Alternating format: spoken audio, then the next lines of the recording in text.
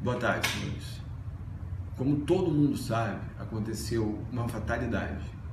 Mas uma fatalidade que acontece com qualquer médico. Uma paciente minha no consultório, após um procedimento de bioplastia de glúteos, que eu já realizei, 9 mil, ela saiu do consultório muito bem e umas 6 horas após eu a levei para o hospital e ela chegou ao óbito algumas horas após, com parada cardíaca. É um mistério ainda a causa da morte, mas é uma injustiça o que estão falando de mim na televisão. É uma injustiça me acusarem de não ser médico, eu tenho CRM ativo. É uma injustiça dizerem que é um procedimento que não, não é habilitado. É um Lembrando que é uma injustiça, estão dizendo que eu aplico silicone industrial. Essas pessoas serão vistas, eu vou requerer análise, eu vou requerer que façam perícia do glúteo e vocês que estão mentindo a me prejudicar, a tentar retirar a boa imagem de 9 mil procedimentos, dois livros escritos sobre a área, querendo apenas aparecer nos, nos holofotes, vocês vão ser processados, certamente.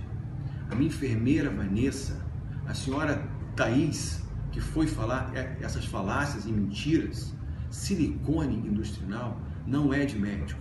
Eu compro com a Biosimetric PMMA 30%, eu compro cerca de 25 litros ao mês e não teria o porquê que eu arriscasse minha carreira com isso. A minha demora em fazer esse pronunciamento. Estou fazendo hoje quatro dias após, porque eu sofri um atentado, um atentado com perseguição de carro, fuzil, fuzil e tiros.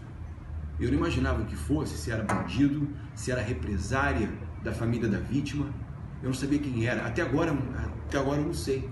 Mas eu sei que eu estou sendo culpado de um crime que eu não cometi e isso será julgado e será comprovado porque a justiça funciona.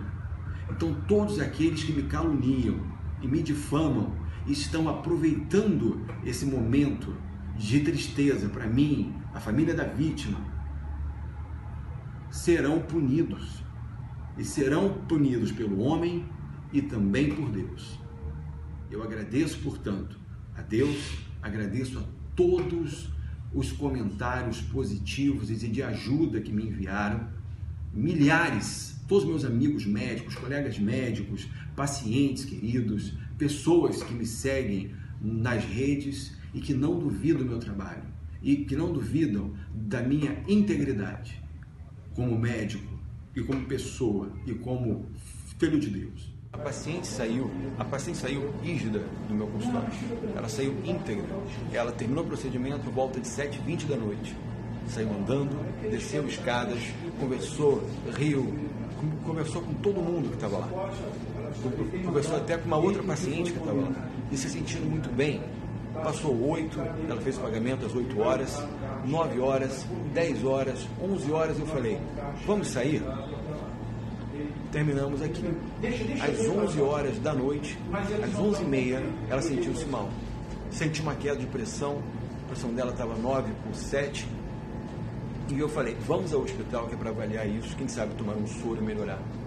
Chegamos lá, ela andando, lúcida, e isso diz no laudo da técnica, da, da médica, da médica do hospital.